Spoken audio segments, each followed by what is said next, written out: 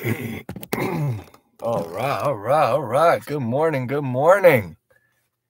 I'm gonna test this out. I'm at the Walmart parking lot. We're gonna see how their Wi-Fi does. Seems to be looking good right now. Trying to find a good spot for my computer to sit. We're having a good time today. Hallelujah. Today we're going to do uh, continue our Bible review.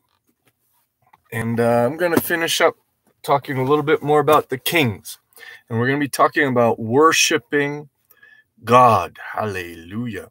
Going to look at some good scriptures. And then I'm even going to teach you a little bit how to worship God. And then later I'll chop up this video uh, if I can figure out how to do that. And make it into a couple different videos because I think a lot of people don't know how to worship God. We're always telling you spend time with God, uh, read your Bible, pray every day. But I think a lot of people don't even know how to pray. And that's, there's nothing wrong with that in the sense that that doesn't make you a bad person. But there is, we can actually learn how to do that. and maybe I'll chop it into a couple different videos and um, you can just come back and watch it. Give me a second to try and figure out the best way to put this up. Then we're going to pray, jump into our Bible lesson for today. It's going to be good. Amen. Hallelujah. Little update from us. Where are we right now? We are in New Mexico, Silver City, New Mexico. And um, exciting. I used to, I'm sitting in the Walmart parking lot. I actually used to work at this Walmart when we lived here. I'd work overnights, and it was maybe some of the hardest times of my life driving to work 10 o'clock at night, leaving my family behind. I'd go in and I'd stock overnight. It's a 24 hour Walmart, so there'd be people shopping, and I'd be stocking the shelves, and I'd see families coming in, and I'd be like, man, I wish I could just shop with my family. It was a hard time because I'd have I'd go home. I'd get off at seven, go home, and just have to figure out how to sleep during the day while the kid. Well, we only had one one child at that time, while Jessica and her were doing stuff, and it was hard. But God is gracious. Hallelujah. Now we're back here as missionaries on a mission. This week we are um, doing. Uh, we're we're going for a town. It's a called tiny little town called Hurley and it's about 20 minutes from here. And Jessica's parents are from here, so Jessica's from this area. So ever since uh, the first time I was ever in Silver City was before I ever met Jessica in 2006. I was driving through on I-10 going to California and I had I saw signs for Silver City and I said I got to I can't be this close to Silver City and not stop. And so I went and try and block this light here.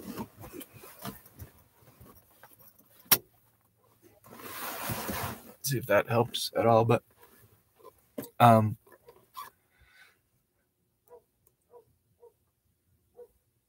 I said I have to go to Silver City, and so I did.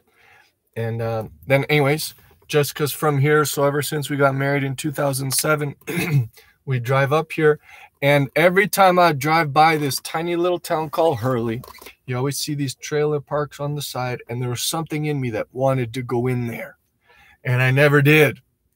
but this time we came to Silver on a mission. We came to New Mexico. We saw ourselves here. We came by faith. God gave us a divine connection in Dem- Deming, which is 45 minutes from here. And so next week we'll be in Deming doing a uh, doing outreaches there, reaching people there, and working with a church, which is awesome.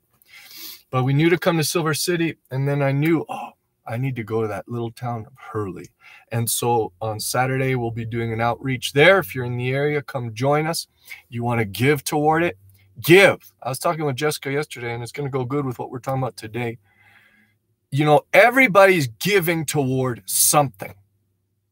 And people think that pre uh, they say, you know, uh, if you're just giving your money to the church, you're just giving it away. That's not true you're giving toward an eternal cause.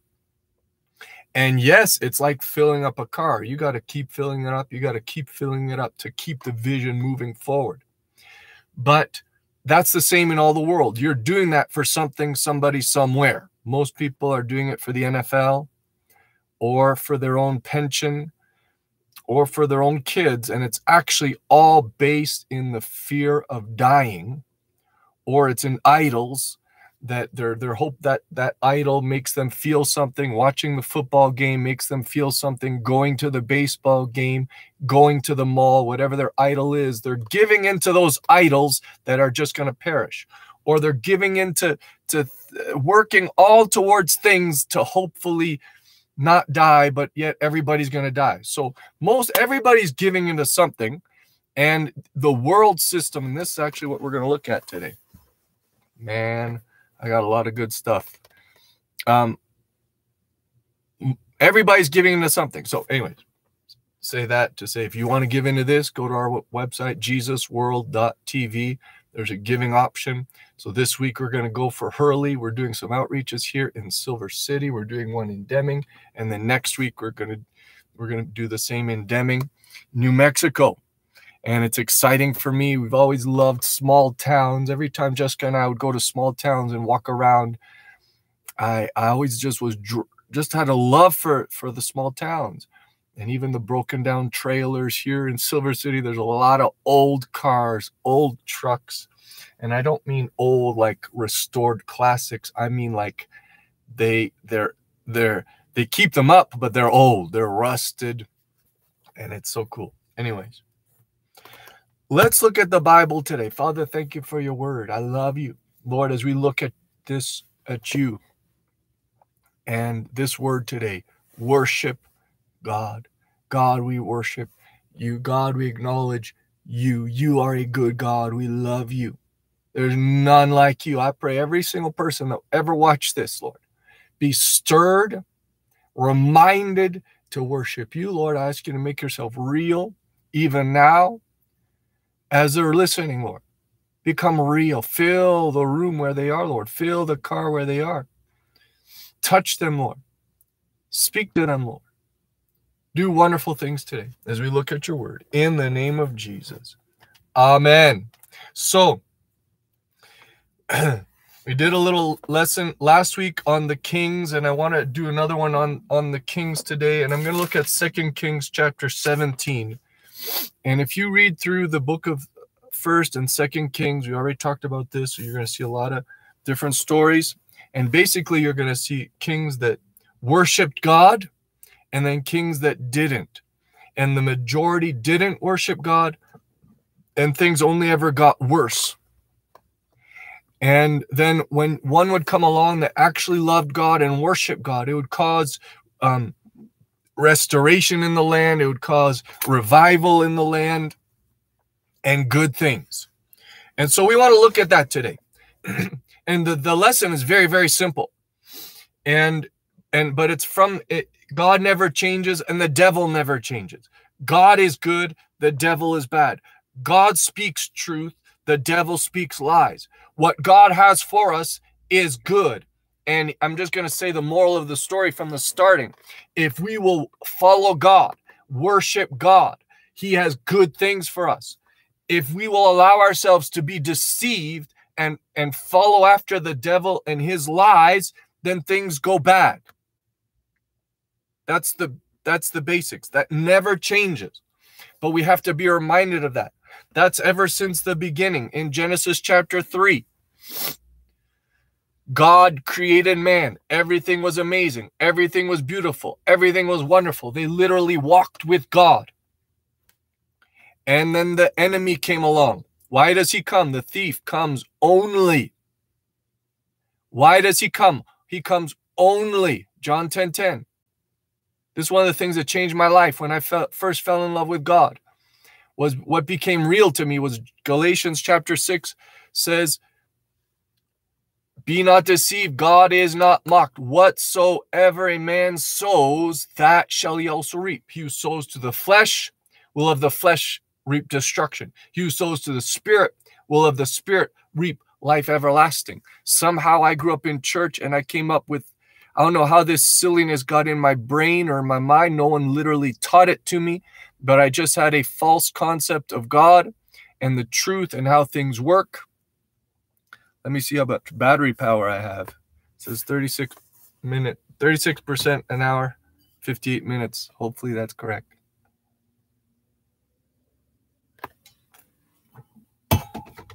Somehow I got into my brain, okay, so this isn't in the bible but in my in, th- these are doctrines of demons these are delusions of the devil that come in people's minds if you're not correctly taught somehow i got in my thinking that okay if i do good that th- this was grace and i never outright said this it's just looking back that i can understand that this is how i believed okay, if I do good, then it's kind of like that's good. God is, you know, it's like you get a check mark. And if I do bad, it's okay. I'm forgiven and God forgives me. Even though those statements might technically be correct, yes, God still loves you, God forgives you. Yes, it's good if you do good. If I do bad, I'm going to reap bad results. That's never going to change. And if I do good, you're going to reap good results. Now, good in the flesh, that's not what I'm talking about. But good empowered by the grace of God and the Spirit of God in your life result in good things. Praise God. And it's not because, oh, you get a check mark. No, it's because you reap what you sow. You put an apple seed in the ground, you get an apple tree, you get apples, you can plant an orchard, you can prosper, you can feed a lot of people. You take a gun and you start going and shooting people up. You hurt a lot of people. You hurt a lot of families. You kill people. You're going to jail. You're going to die. A death sentence. So that's not because god is good or or the or god is bad or god caused this god caused no it's because what we do as we were in hurley the other day and i and uh, i knew okay we're, we're supposed to we're supposed to hand out flyers right here. And then I knew I turned around and said, Oh, I'm supposed to park right there. And I'm pulling up to the parking spot. And there's a car in front of us, and there's a young man, and he's cursing and all that. And Jessica's like, Oh, watch out for, you know, I don't know if we should park here, da da da da. But I knew, no, I'm supposed to park here. And when she's saying, watch out for that guy, there's something in me. No, that's awesome. I'm supposed to talk to that guy.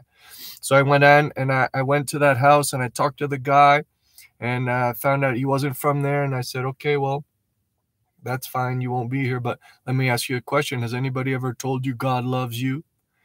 And he he had like a a, a check, you know, he like did this look, and I knew I'm supposed to be talking to this guy.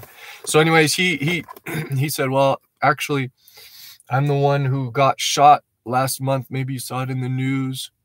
And da, da, da, I'm gonna make the story very short. So he knew that this was a divine appointment. I knew this was a divine appointment. And I was talking to him. Anyways, long story short, I was praying for him and all that. And then he started to say, Oh, yeah, you know, when that happened, my heart got hard. I'm not, I can't believe in God. Or he said, I can't believe in somebody who would do that to my homie. And I said, um, He didn't do that. He's not the one who killed your friend. He's not, we're the ones who do that. You and me are the ones who go around sinning and causing bad things. God's not the one that took a gun and killed somebody. God's not the one that organized a drug a drug deal or a, a shootout or a put you at a liquor store robbing somebody and then you got shot. God didn't do that. So, and he his false doctrine that he believed, he said, "Oh, well, you know, they say everything happens for a reason." Yes, of course everything happens for a reason. Because we sow silly seeds, we get silly results. And and it's not just you're a bad person. No, it's all of us. The earth is full of ugly stuff because of all the stuff, the generations of bad seeds. So this is very simple, basic stuff. So it started in the Garden of Eden. God did good stuff. The devil comes along and deceived them, deceived Eve, said, I have something better for you. God is holding something back from you. And the lies never change. This is still the same today. Any lie that you or I fall for, any sin that we do, it's still the same tactics of the devil. The Bible says we're not ignorant of the devil's devices. Why? Because we're hearing this word. Why? That's why we're learning the truth. That's why we're here listening to the truth so that the truth can make you free. The truth makes you a free person because you don't fall for the lies of the devil anymore. So he hasn't changed. His tactics haven't changed. So it's still the same. So you had kings. So if you've been following along, we read through Genesis, Exodus, Leviticus, Numbers, Deuteronomy, Joshua, Judges, Ruth. Now we're in then we second, first, second Samuel. Now in first, second Kings. And what did we see? We saw God moving among men. We saw God making promises. God uh, pro- um, uh, delivering them out of Egypt. God telling them, "Hey, I have a promised land for you." And we talked about all these things. If you didn't listen to the lessons, go back and listen to them. God, and, and we, we're putting it into us. God has a good plan for your life. God has a promised land for your life. But then last week we talked about the prosperity test. And, and Joshua and Moses did everything they could. Moses did everything he could to prepare Joshua, to prepare the people. He told them, hey, listen, look, remember everything that God did for us.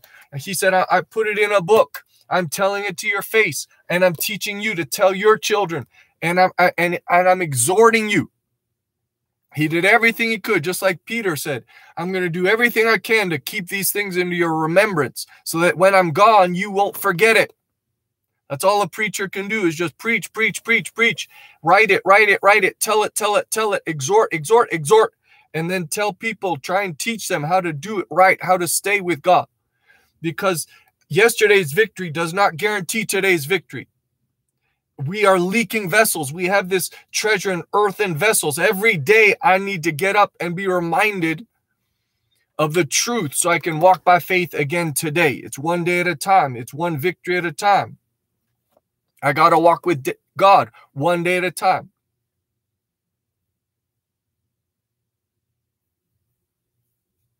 Amen. So he did everything he could to get them. He said, okay, remember all that God did. And he reminded them over and over all the miracles and all the tests and, and how he, he, he provided and all the miracles. And then he said, now when you go in there, then just keep following God. That's our lesson today. Worship God. Do what he says. Keep his commandments. Stay with his statutes. And then Joshua, they find they actually went in, they took the land. And then last week we talked about the prosperity test. When you actually get that, get what God's promised you, or, or you get the breakthrough you've been praying for, you get, you know, if all your prayer life is based on getting a house, then when that house comes, Will you continue to press into God? When that promotion at work comes, when that deliverance, when your kid finally gets saved, Will you keep pressing into God? Whatever it is that you're pressing into God for, will you keep loving God? That's what changed my life. Was not um it was a relationship with a person. I fell in love with a person. That's why I never went back. Have I been perfect in the last 20 years? No. Have I have I been an idiot in some ways because I didn't know better? Yes, but I'm I've stayed in love with a person. It's all about a person. This is eternal life, is knowing God and Jesus Christ, whom he sent. It's a person. You fall in love with a person. And you stay with him. Good, bad, ugly. Paul said, I've learned, and we talked about this in the last lesson, I've learned how to abound and how to be abased. I can do all things through Christ. It's all about Jesus. It's all about my relationship with Him. I, whether I'm do, got a million dollars in the bank, I'm still in love with Him. I still need Him. I'm going to keep my relationship with Him. If I have no money in the bank, I'm in love with Him and He's going to get me through and I'm going to press in and everything's going to be all right but it's got to be about him. So they did everything they could, told them, okay, when you go in the land, just keep following God, worship God, worship God, worship God. and then there were good kings and there were bad kings, and most of them. And if you look at, if you're reading through and you almost get tired of reading, that's what I almost got tired of reading just the stories of, okay, this, this king was bad and this king killed that one, and there was this conspiracy, and they killed this one, and these guys sinned, and all sin, sin, sin, ugly, ugly, ugly, until you finally get to where we're at here in Second Kings. I'm going to look at 17 today. And it's heartbreaking. But you're finally going to see Israel taken out of the picture. And then a few chapters later, Judah taken out of the picture or or um, uh, occupy taken over completely. And that's what happens with sin. You will reap what you sow. So let's look at a couple of verses in second kings chapter 17 then we're going to look at this. And so we we're, we're seeing the destruction of israel. God was so patient. So in the Kings, and I'm just going according to this chart back here in my Bible, but Saul became king, the first king of the United Kingdom in 1050 BC. Then it was David in 1010 BC, so that's 40 years later. Then Solomon for uh 970 BC my math might be interesting because it's backwards counting, but I think it looks like another 40 years later. So that's 80 years of the United Kingdom. And then in 930 BC, so that's just, again, the math is interesting. So it's hard to do backwards math like that. But 930 to 1050, I guess, would be 120 years of a United Kingdom. But then in 930, then the kingdom gets gets divided. Now watch God's patience.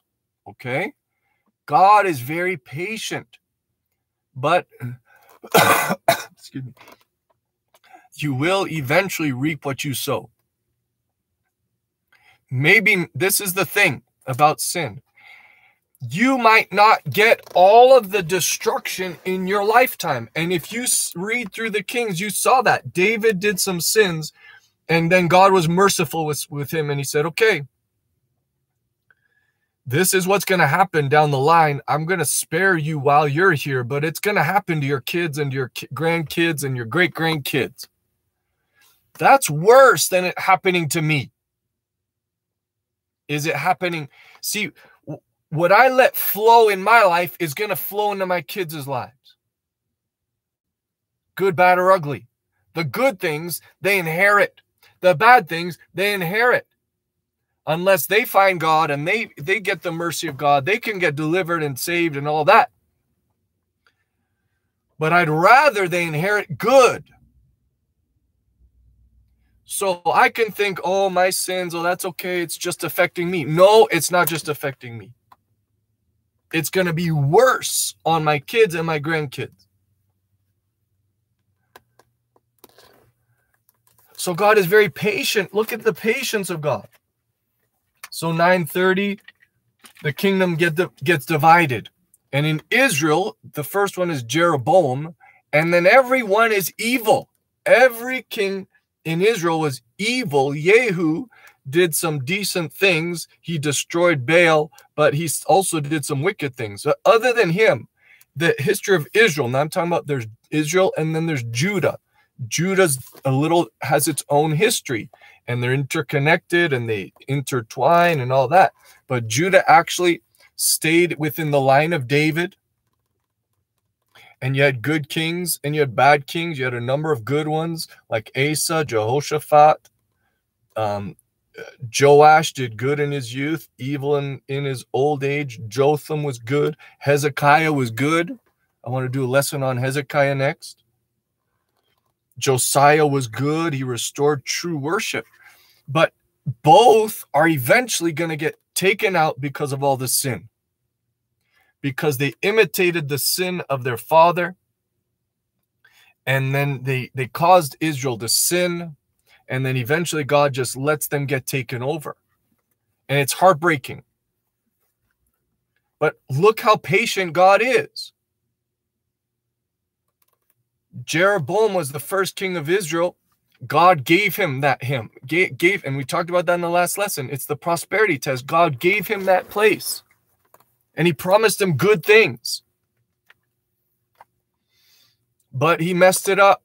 And then the the history of Israel is is full of one person killing the next one to take over and become king. There's conspiracy after conspiracy. There's suicide. There's ugly stuff. And then finally in 722 BC, so that's about 200 years later, then God lets them be taken over. So you see God's patience over 200 years. And let's look at Second Kings chapter 17 and it's kind of like second kings 17 it's going to show the the the um, overtaking of israel and but it's going to give you a synopsis of what happened so let's just read some verses verse 7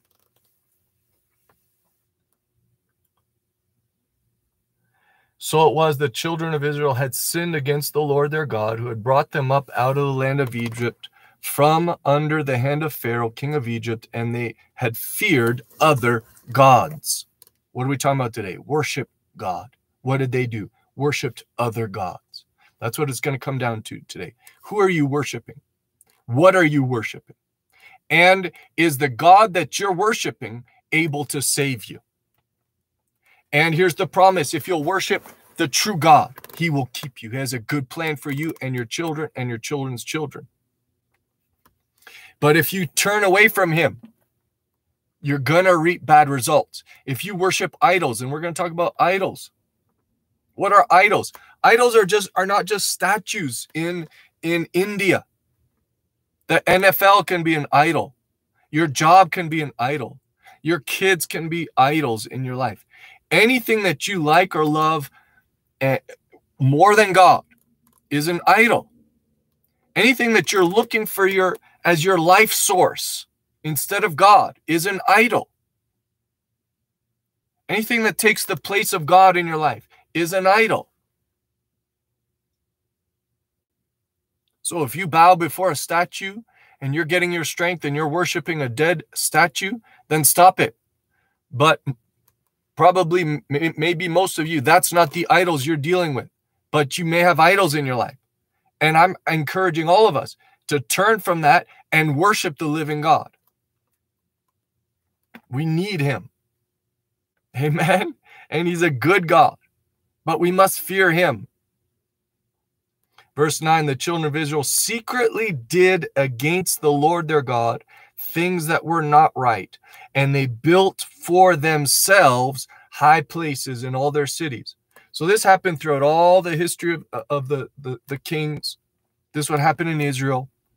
They worshiped other gods. They feared other gods. Secretly, they did things against the Lord their God. What does that mean? God sees everything, but we must be honest with ourselves. Am I really on fire for God? Am I really worshiping God? Is my life really His? And today we're going to talk about worship. And then I'm going to do a separate little video. It's going to be a 10 minute video on how to actually worship God, how to actually spend time with God. So I want you to go watch that video, but it'll, amen. Okay, let's keep looking at this. Verse 12 they served idols, of which the Lord had said to them, You shall not do this thing. What is the point of this? I want you to see that they're going to reap what they sow.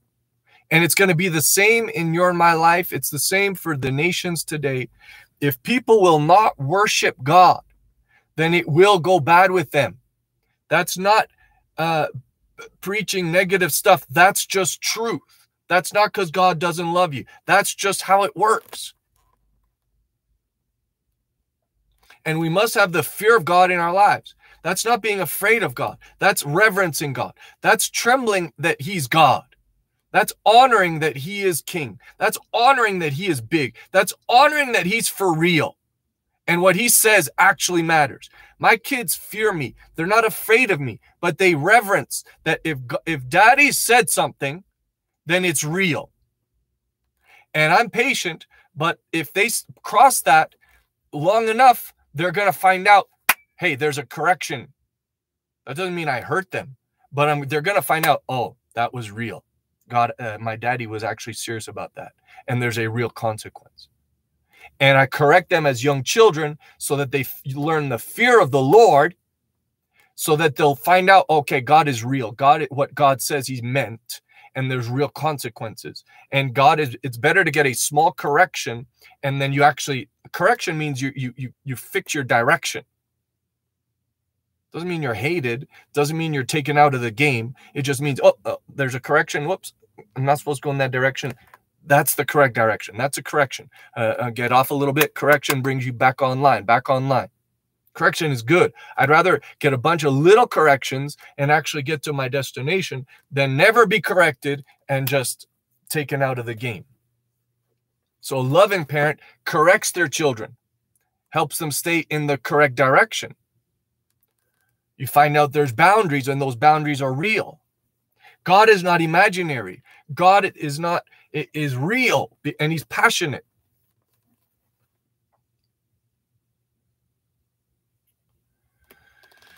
So they did what he didn't say to do. Verse 13, yet the Lord testified against Israel, against Judah by all of his prophets. Listen, and every seer. So God sends prophets to tell people, hey, hey, hey, hey, God is real. Hey, God's not joking about this. Hey, turn from your wicked ways. Hey, how? Worship him. You know what really changes your life is when you actually taste and see that the Lord is good and then you keep tasting and then you get addicted to him instead of addicted to other things. That's what happened in my life. I fell in love with him. I ta- i got a taste and i saw oh man he's really good. I got a taste and i actually saw oh he caused me this freedom in my life. And then i just kept going and i got hooked and i got hooked and i got on fire for him. And then he started transforming me and changing me. Amen. Hallelujah. So he sends prophets he sent prophets to testify and tell them, hey, hey, hey, turn around. Turn from your evil ways. Keep my commandments and my statutes. Do we still need to be preaching this today? Yes. Yes. Peter was out in the streets preaching.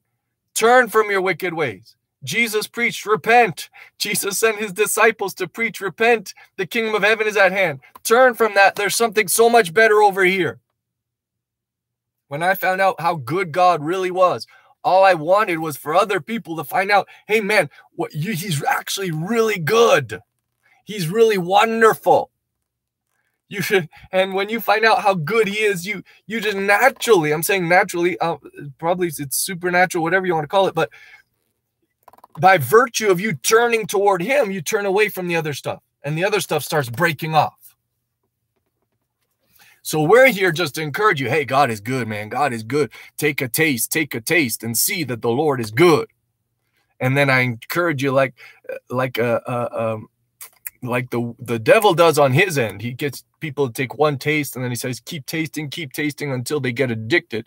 You know, often the things of the devil at first they taste bad, but then we develop a taste for it because we saw somebody else and we believe the lie. We said, Oh, I want to be like that person. So I'll just keep doing it. I'll keep smoking this cigarette until until I finally like it. I'll keep eating this thing until I actually like it. I'll keep drinking this thing until I actually like it. And then you do eventually like it. And then you're hooked and then you get the bad results. God is the same way, except the good. If you've tasted and seen that He's good, then keep coming if you've heard the word and you and you spend a, even a few moments in his presence and you're like oh that was good then here's the here's wisdom. Go get more. Go get more. Go to church again. Go to another meeting. Read your bible again. Pray in tongues again. Get that again and again and again and again and again until you're hooked and you can't go back. So that he sent the prophets. So god is just. He's so patient. He sent people he warned them hundreds of years. See his patience? But they refused, refused, refused. And we'll see what happened. Verse 14, nevertheless, they would not hear. But watch this word. They stiffened their necks like the necks of their fathers who did not believe in the Lord their God. They refused to believe. I was reading this Proverbs 29, verse 1 with my kids the other day. He who is often rebuked and hardens his neck will suddenly be destroyed, and that without remedy. Do not be deceived. God is not mocked. Whatsoever a man sows, that shall he also reap. So in Second Kings, we're going to see their destruction, but it was long coming. God was so patient, but what was happening? They're stiffening their neck. When he came to, uh, he was often rebuked and hardens his neck. Uh, uh, uh, resisting that that correction. Uh, uh, until you get so hard that there's a sudden destruction. And to the world, it's like, oh, what a sudden destruction. But it was a long time coming. And they were forewarned and they were warned again. And they were, God was merciful. And God, and then, and then along somebody does repent and God is God is so merciful. He's like, okay, because you repented, because you asked for mercy, I'm giving you mercy. And then they would turn around and keep sinning. And that's how that's how it works. So we don't want to stiffen our necks. If God is tugging on your heart, God is doing turn to him. Turn, the Bible says, turn to my reproof, and I'll pour out my spirit on you in Proverbs chapter 1. If God is God is is is is, is tugging on your heart, just turn, yield. He's good. He's going to help you. Watch what happened in verse 17. They caused their sons and so all sorts of wickedness. They did so much stuff. And I'm going to say this when you're deceived, you do stuff that you don't realize how wicked it is. So to us, when we read it, you say, "Oh, that's so wicked. How could they do that?" But I'm I'm sharing this to challenge us, and and and it's obvious if you can see it in the culture around us. But there's a lot of wickedness going on, and people are so deceived they don't know how wicked it is. But that wickedness will bring on destruction and even sudden destruction if at some point people don't repent. God doesn't want that for me personally. He doesn't want that the ramifications of that on my family or my grandchildren, my great grandchildren, the people that we minister to. He doesn't want that for your city. He doesn't want that for your school. He doesn't want that for our nation. So, what do we have to do? We have to cast off our idols and worship God and worshiping God. That's why I'm going to do an actual lesson on worshiping God. It's only going to be 10 minutes long, so go find it later. But it's real. You can actually worship God. It's not theory. Oh, yeah, I serve God. Oh, really? That's awesome. What part of your church are you part of? Oh, I don't really, I don't really go to church. Oh, oh, oh really? Oh yeah, I love God. I, I I really obey His commandments. Oh really? What's He been talking to you about? Oh well, you know, I saw this movie and uh, they said uh, you know everything happens for a reason and oh you get your doctrine from hollywood oh oh really huh interesting okay let's look at that watch what happened here so watch verse 17 they sold themselves to do evil in the sight of the lord you know slavery is actually a subtle thing there, there's modern day slavery. Most people are actually slaves. Most people are slaves to debt, to the government, to their job, to the world, to the whole world system. The Bible says that the devil is the God of this world, small g. He's not Almighty God, but through deception, he deceives the nations. Most people are sold to slavery. They sell themselves to their idols, to the government, to whatever else instead of loving God and serving God. Verse 18 The Lord was very angry with Israel and removed them from his sight, and there was none left but the tribe of Judah alone. So it all culminates to that verse. But I showed you that took, it was over 200 years and even before that, it's thousands of years of God showing himself faithful, and then prophets prophesying, and God's encouragement, and God's very own um, uh, exhortation. Hey, when this happens, don't forget me. Hey, do this. Watch verse 15. They rejected his statutes and his covenant that he had made with their fathers and his testimonies which he had testified. God is a good God. His covenant was amazing with Abraham. God promised them big things. God promised Abraham big things. God promised uh, Moses big things, Joshua big things, David big things. As long as they would just stay with him. So when it says they rejected his covenant, that's like you're married to a trillionaire who loves you, who's actually kind and gracious and patient and forgiving with you. And you reject the trillionaire to go mess around with some idiot at a bar somewhere. And then the trillionaire's like, oh, you know, it's okay. I forgive you. Come on back. You have everything you could ever need, want, desire, and you still you reject it. When it says they rejected the covenant of God, God is good. When we reject him, we're rejecting good. We're not rejecting a bunch of laws that are hard to follow. You're rejecting a wonderful person who has wonderful promises, who's rich beyond anything you can imagine, who has an amazing plan for your life, amazing destiny beyond anything you could ever dream on your own. That's what you're rejecting. So, why am I talking about this? Don't do it. Don't do it. How? Turn to Him. How? Worship Him. Stay in love with Him. Don't fall for that stuff. And if in any degree you've fallen for it, then repent. So they rejected His covenant. So then, uh, and verse and he had warned them, warned them, warned them. We're still in Second Kings chapter 17. So then he placed the, the king of Assyria comes in, verse 24. And verse 25, it says, At the beginning of their dwelling there, they did not fear the Lord. Now, watch what happens. Very interesting things happen. So there's there's some lions that come into the land, and then somebody comes to the point, they say, Hey, there's these lions are here and they're killing people. And I think it's because we're not serving the, the Lord of the, the God of this of this land. And so they said, let's get one of the priests to come and teach us how to serve this God so that we don't reap these bad benefits. And so they got this priest, and the verse 28, he came and he taught them how they should fear the Lord. This is a very interesting passage. Verse 32, say, so they feared the Lord. Watch this. Watch what happened.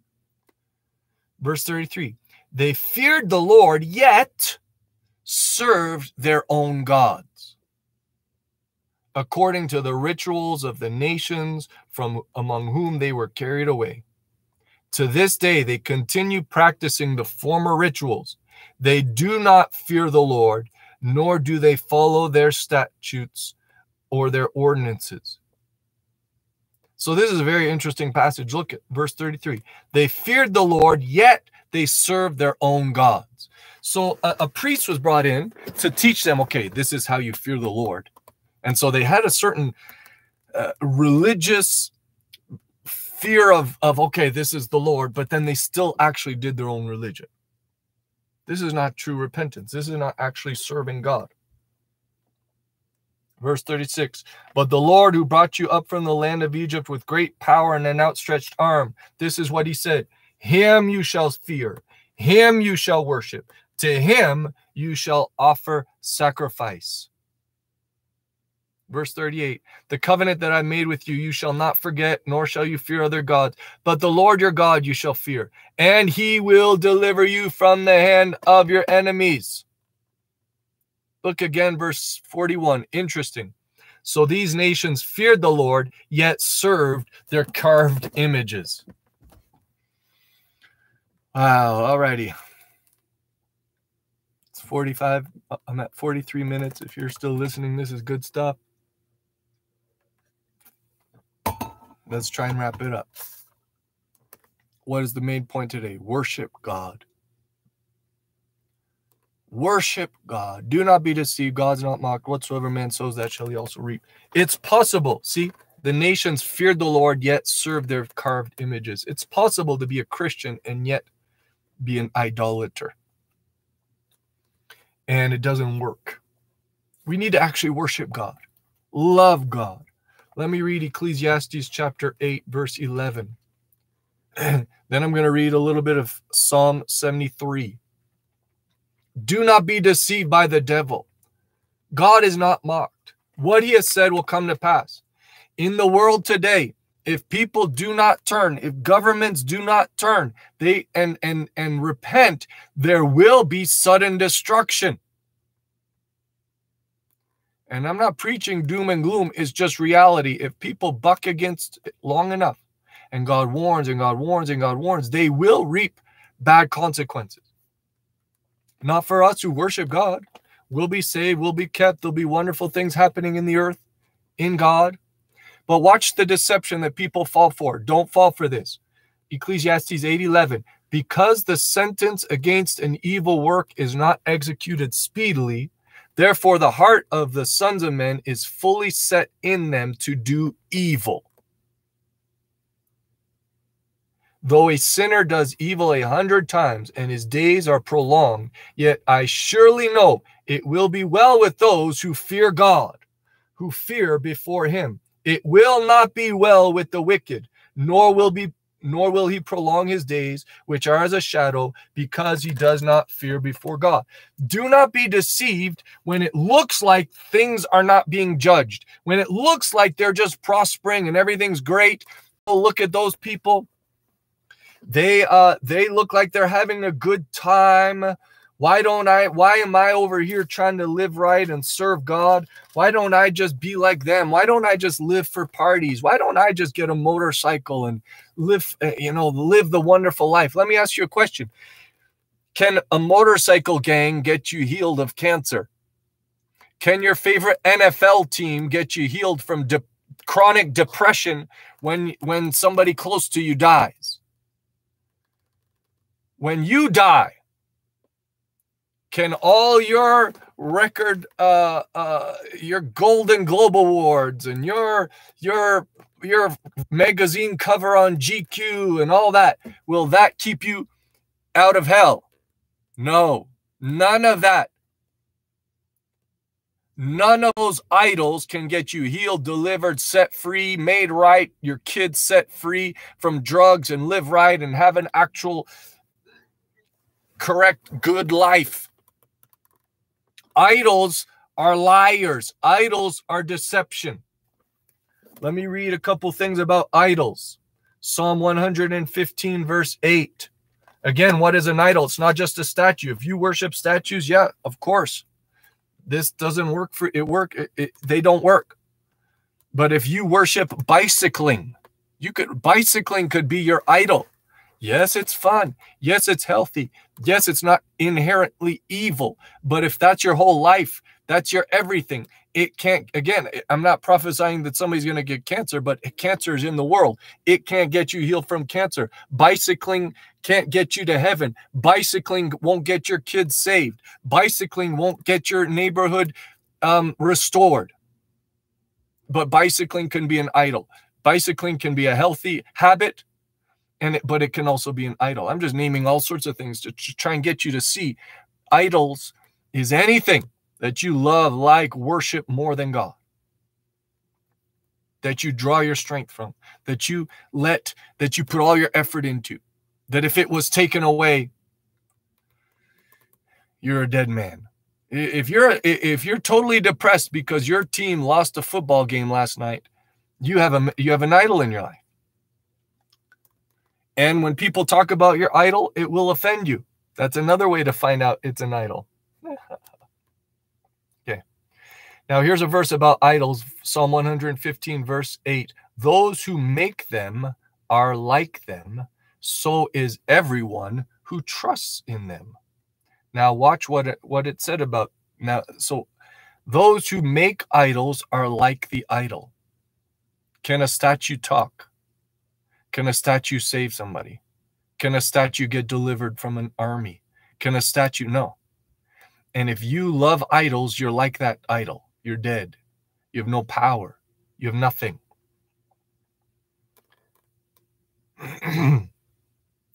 Watch what it said about idols. Verse 4 Their idols are silver and gold, the work of men's hands. The work of men's hands.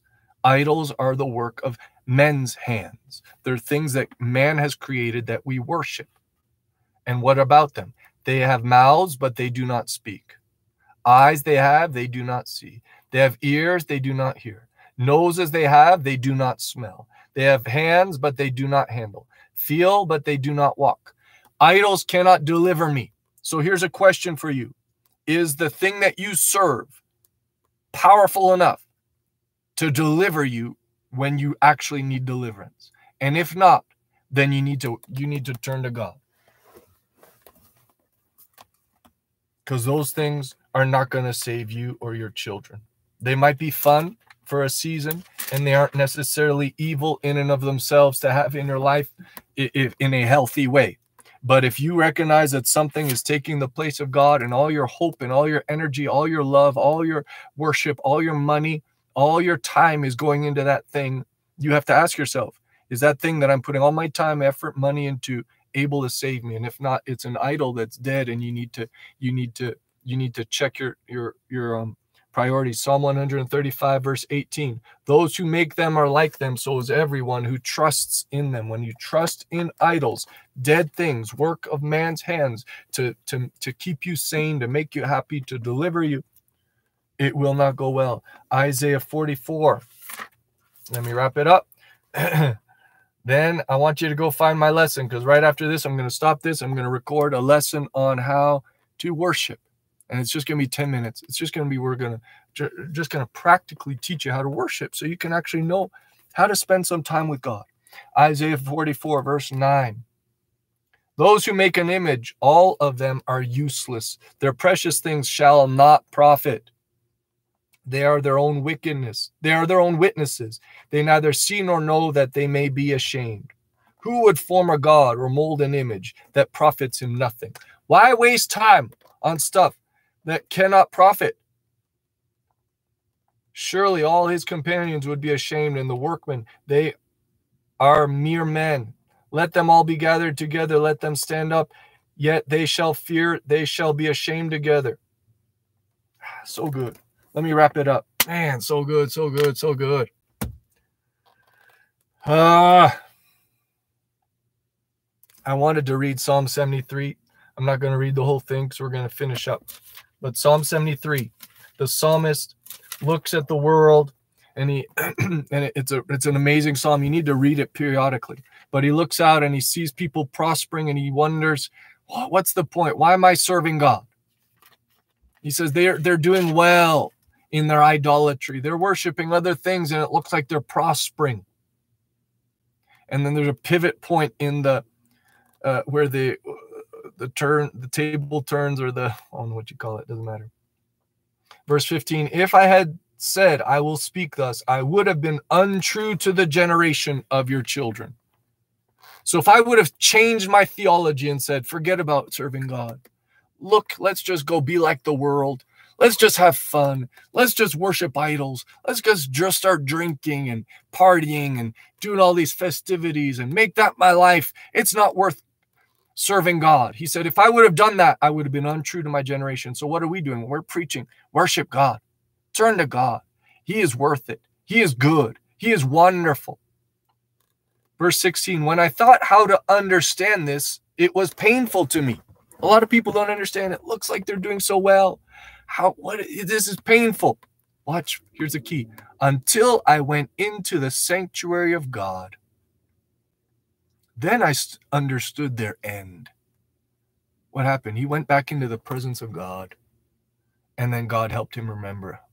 Yeah, it looks like they're doing well, but look at their end. There will be sudden destruction. Psalm 37 is good for this as well. The meek will inherit the earth. It will happen. Do not be deceived. I understood their end. Surely you set them in slippery places. You cast them down to destruction. They're brought to desolation in a moment. They're utterly consumed with terrors.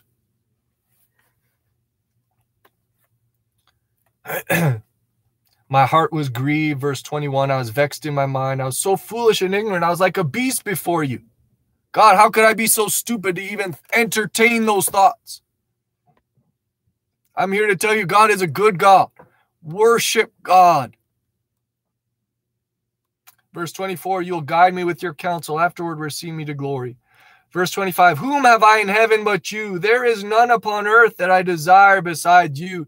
It's so good you know what I do sometimes is just listen to the Psalms with an audio Bible and I just repeat the Psalms. I kind of put it on half speed so that I can just repeat everything they say. These are so good things to say. Say it from your mouth. God, there's none upon earth that I desire besides you. God, I love you. I love you. I love you. I love you. I love you. I love you. I love you. I love you. That comes out of your spirit. Worship God. My flesh and my heart fail, but God is the strength of my heart and my portion forever. So he's remembering, oh, God is good. Oh, I, he's so good. Indeed, those who are far from you shall perish. You've destroyed all those who desert you for harlotry. That's what we just read about in Kings. And it sounds bad. You you destroy all those who desert you for harlotry. But I showed you it the patience of God. And I didn't tell you how many years he was patient with Israel the after the divided kingdom over 200 years and then Judah lasted longer because of the good kings. And I said I'm going to look at we're going to look at Hezekiah in the next lesson. But my math might be a little bit off like I told you that that the numbers are interesting to look at because they go from backwards, but Judah lasted about another 150 years because at least they had some good that helped prolong it but then eventually all the bad stacked up and taken out. So God is very patient. So when he's being patient with us, he's long suffering. Why? Because he's not willing that any should perish, but all would come to the knowledge of the truth. He, all he doesn't want anybody destroyed, so he's very patient. But we're not to test his patience. You only have a certain amount of time on the earth. You test his patience long enough, you'll be gone. So instead, turn to him. Verse 28, this is some, a couple of my favorite, favorite verses in the whole Bible. It is good for me to draw near to God. The New American Standard says, As for me, the nearness of God is my good. That's what I discovered 20 years ago. I love I fell in love with his presence and it's still all I want. I love him. Whether I'm in a car or in a fancy office, whether I have a million dollars in the bank or five dollars in the bank, whether I'm in on a stage with with with um with uh, spotlights or on a on a in a trailer park with two kids telling a Bible story. Only his presence is worth anything. You could be on a stage with spotlights. If you do not have God, your life is a wreck and it's a tormenting place. You could be in a poor place with three little kids that are five years old, all dirty, teaching a Bible lesson, and the presence of God is there. That's all that matters. All that matters. And his presence isn't far. That's why you can have it right now. Regardless of what what's going on in your life right now, his presence is right here. Fall in love with his presence. Be like the psalmist. Go back into his sanctuary. And then everything becomes clear again. Your bank account might not change right away. The trials in your life might not look like they've changed, but it changed because you're you're in, you're connected to him again. That's all that matters. As for me, the nearness of God is my good. That became my my confession, and it's real. I have put my trust in the Lord God that I may declare all your works. I have made the Lord God my refuge that I may tell of all your works. Father, thank you for your goodness, Lord. Thank you for your word. God, we love you. Just make a commitment today to worship God. Father, just say, God, I worship you. God, I love you. Any idols in my life, Lord, reveal them, take them away. Cleanse me, God. Forgive me. Give me a heart for you a passion for you, God. I love you, God. Take my life, do something with it, Lord. Affect, cause my life to have a lasting effect in my children, my children's children, my great grandchildren, and beyond, Lord. Flow through my life. Keep me from wickedness. Help me see things how you see them. In Jesus' name. Amen. Wow good stuff. Pray that was a blessing to you. That uh, that's again the Second Kings looked at chapter 17. My next lesson, I'm going to do one on Hezekiah, and then we're going into Chronicles. And then I'm about to do a quick lesson on on um, how to actually spend time with God. So go find that. Let me call it uh, "How to Spend Time with God." Amen. So go find that video, watch it. Love you, bless you. God has a good plan for you. He's good. Fall in love with Him. Amen.